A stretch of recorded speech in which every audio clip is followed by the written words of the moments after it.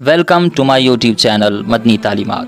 Please subscribe and press the bell icon for more videos. बसमीम अल्लाम वरहमतुल्लाह माज़ सामीन कराम पाकिस्तान में जो हालात चल रहे हैं शायद ही कुछ लोग हों जो बिजली के बिलों की वजह से परेशान ना हो आज हर बंदा ही बिजली के बिलों की वजह से बहुत ज़्यादा परेशान है हर महीने बिजली का बिल पिछले महीने से ज़्यादा आ रहा है। लोग महीना भर इतना कमाते नहीं जितना वो बिजली का बिल अदा कर रहे हैं। तो मैंने सोचा, मैं आज की इस वीडियो में बिजली के बिलों में खातर खा कमी करने के हवाले से आपको वो आपकी मिस्टेक्स बताऊँ, जिन्हें आप तो मामूली समझते हैं, लेकिन ये चीज़ें बिजली के बिलों में इजाफे का बहुत बड़ा सबब बनती हैं। आप सिर्फ़ एक महीना एक महीना सिर्फ़ इन चीज़ों पर गौर करके देखें, इन चीज़ों को कंट्रोल करके देखें, कोशिश करें इन अगले महीने आपको बिजली के बिल में वाज फ़र्क नज़र आएगा। उन चीज़ों में सबसे पहले नंबर पर है आपके घर का टीवी। याद रखें, हमारे घरों में अक्सर जब टीवी देखा जाता है तो टीवी देखने के बाद हम रिमोट कंट्रोल उठाते हैं और उसे बंद कर देते हैं, टीवी को ऑफ़ कर देते हैं। याद रखें, ना ही हम उसका स्विच बंद करते हैं, ना ही हम उसके प्लग को उतारते हैं। सिर्फ़ रिमोट कंट्रोल से हम टीवी को ऑफ़ कर देते हैं। याद रखें, अगर आप सिर्फ़ रिमोट कंट्रोल से टीवी को ऑफ़ करते हैं तो आपका टीवी हो या एलसीडी हो, आपने देखा होगा, उसकी लाल बत्ती जल रही होती है। वो आप समझते हैं कि एक मामूली सी चीज़ है। इससे क्या होगा? याद रखें, वो लाल बत्ती लगातार बिजली को चूसती रहती है। क्योंकि वो सिर्फ़ लाल बत्ती नहीं जल रही, बल्कि वो टीवी का पूरा सर्किट चल रहा है।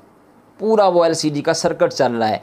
अब आप सोच रहे होंगे कि उस लाल बत्ती से कितना बिजली का नुकसान होगा, कितना ज़्यादा बढ़ जाएगा बिजली का बिल। तो याद रखें, आप एक दिन का हिसाब न लगाएँ, आप पूरे महीने का हिसाब लगाएँ और फिर उसका टोटल निकालें तो फिर आपको बात समझ आएगी कि ये लाल बत्ती कितना बिजली के बिल में इजाफा करती है।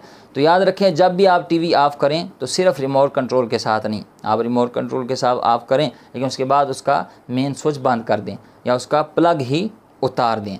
दूसरे नंबर पर, आज हर घर में हर फर्द के पास तकरीबन मोबाइल फ़ोन मौजूद होता है और हर बंदे के पास अलग अलग चार्जर भी मौजूद होता है और अक्सर लोग, हो सकता है आप भी उन लोगों में शामिल हों, अक्सर लोग क्या करते हैं, अपने फ़ोन को चार्ज करने के बाद चार्जर को साकट में लगा रहने देते हैं और समझते हैं कि ये बिजली यूज़ नहीं कर रहा।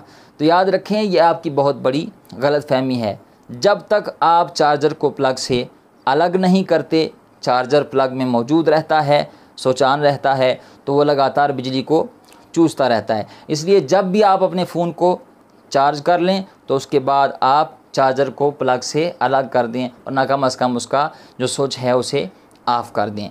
तीसरे नंबर पर जिन घरों में लैपटॉप है, पीसी मौजूद है, उनके चार्जर भी लगे रहते हैं। आप जब तक इन चीज़ों को मेन बोर्ड से ऑफ़ नहीं करते, स्विच बंद नहीं करते तो ये लगातार बिजली को चूसते रहते हैं, मैं फिर अर्ज़ करूँगा, आप सोच रहे होंगे कि इन चीज़ों से कितनी बिजली खर्च होगी, कितना ये बिजली का बिजली का बिल में इजाफा होगा तो आप फ़कत दो तीन घंटों का हिसाब ना लगाएँ, आप पूरे महीने का हिसाब लगाएँ और टोटल निकालें तो फिर आप समझेंगे कि कितना बड़ा बिजली के बिल में इजाफे का ये चीज़ें सबब बनती हैं। तो जब भी आप लैपटॉप इस्तेमाल कर लें, आप उसके बाद उसका जो मेन स्विच है, उसे कम अज़ कम बंद कर दिया करें। चौथे नंबर पर घरों में चलने वाली इंटरनेट डिवाइस होती है। आपने देखा होगा, घरों में, जिन घरों में वाईफाई इस्तेमाल होता है, वो एक मॉडम सा लगा होता है। तो अक्सर लोग करते क्या हैं, रात को सोने से पहले उसे ऑफ़ नहीं करते और वो मॉडम आठ आठ, दस दस घंटे फजूल में चलता रहता है और फजूल में वो बिजली को चूसता रहता है। तो आप से गुजारिश है, जब आप सोने लगें तो उससे पहले आप उस डिवाइस को ऑफ़ कर दें। बिजली की भी बचत होगी। और अगर किसी को आपके वाईफाई का कोड पता है तो अगर वो आपका वाईफाई इस्तेमाल कर रहा है तो उसका भी वो वाईफाई से रबता मुनक़ होगा। तो इस चीज़ से भी आप किसी हद तक बच सकेंगे। पाँचवें नंबर पर हमारे यहाँ लोग घरों में पानी का बेदरग इस्तेमाल करते हैं। याद रखें, पानी को इस्तेमाल करने में एहतियात करनी चाहिए, वरना इसराफ़ बहुत बड़ा गुनाह है। इसराफ़ के बारे में पूछा जाएगा और ये शैतानी अमल है। जानबूझ के पानी को ज़ाया करना और उसमें एहतियात न करना। अगर आप इसी तरह पानी ज़ाया करते रहते हैं तो उसका नुकसान ये होता है कि टंकी जैसे ही खाली होती है, फिर नीचे से मोटर चलाई जाती है। मोटर चलती है तो फिर बिजली का मीटर घूमता है। जब बिजली का मीटर घूमता है तो फिर बिजली में इजाफा, बिजली के बिल में इजाफा होता है। इसलिए आप पानी इस्तेमाल करने में एहतियात करेंगे। तो इससे इन आपकी बिजली के बिल में भी वाज तौर पर कमी आएगी। छठे नंबर पर आज हर घर में तकरीबन फ्रीज़र या फ्रिज मौजूद होती है। याद रखें, फ्रीज़र के अंदर दीवारों पर जो बर्फ़ जमी होती है, उसे हफ़्ते में एक बार ज़रूर वाश करना चाहिए। उसका फ़ायदा ये होगा कि फ्रीज़र जल्दी टम्परेचर पूरा करके ट्रिप कर जाएगा। और याद रखें, कभी भी फ्रीज़र या फ्रिज में चूल्हे से उतरी हुई चीज़ फ़ौर वो गर्म गर्म ही फ्रिज में या फ्रीज़र में नहीं रखनी चाहिए। इससे फ्रीज़र बहुत ज़्यादा बिजली चूसता है। आपने जो भी चीज़ चूल्हे से उतारी है, उसे फ्रीज़र से फ्रिज से बाहर चंद मिनट रखें ताकि वो ठंडी हो जाए। उसके बाद आप उसे फ्रिज में रख लें। तो इससे इन आपका बिजली का बिल कम आएगा। आप कम अज़ कम इसकी जो बर्फ़ जमी होती है, उसे हफ़्ते में एक बार ज़रूर वाश कर लिया करें। तो इन इससे आपका फ्रीज़र जल्दी टम्परेचर को वो पूरा करेगा और उसके बाद ट्रिप कर जाएगा। इससे आपकी बिजली के बिल में वाज तौर पर कमी आएगी। सातवें नंबर पर है एसी याद रखें एसी जब भी चलाएँ तो इसका टेम्परेचर कभी भी 20 22 या 17 18 20 पर न रखें। इंसानी जिसम के लिए सबसे जो मुनासिब टेम्परेचर है, वो है 26 अगर आपने खाम खा अपने बिजली के बिल में इजाफा करना है तो फिर चाहे 20 पर रखें 17 पे रखें 18 पे रखें, वो आपकी मर्ज़ी है, बिल भी आपने अदा करना है, मुझे उससे कोई नुकसान नहीं है। लेकिन अगर आप चाहते हैं कि आपके बिजली के बिल में वाज तौर पर कमी आए तो एक मुनासिब टम्परेचर है 26 आप अपने एसी को 26 पर रखें। जैसे ही आपके रूम का टम्परेचर 26 पर पहुंचेगा एसी ट्रिप कर जाएगा और इन उसका फ़ायदा ये होगा कि वाज तौर पर महीने के बाद जब बिजली का बिल आएगा तो आपको उसमें कमी नज़र आएगी। और दूसरी बात ये भी अर्ज़ कर दूँ, हमारे यहाँ अक्सर एसी भी इसी तरह ही बंद होता है कि जी रिमोट कंट्रोल से एसी को बंद किया और जो उसका मेन सोच होता है उसे बंद नहीं करते।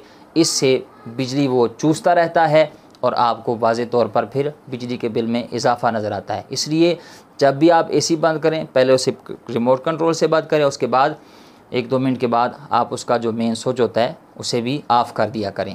एक टोटका घर की ख़वातीन माओ, बहनों, बेटियों के लिए है।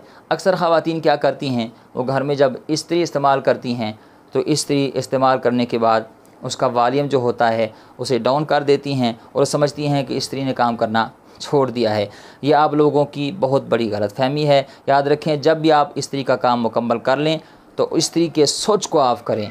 उसके वॉल्यूम को डाउन करने से स्त्री का वो सिस्टम बंद नहीं होता।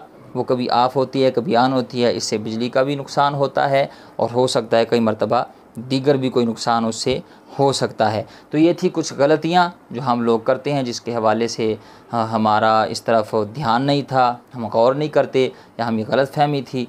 तो आप इन चीज़ों पर कंट्रोल करें और फिर देखें इन एक महीना करके देखें। महीने के बाद आपके बिजली के बिल में वाज तौर पर इन आपको कमी नज़र आएगी।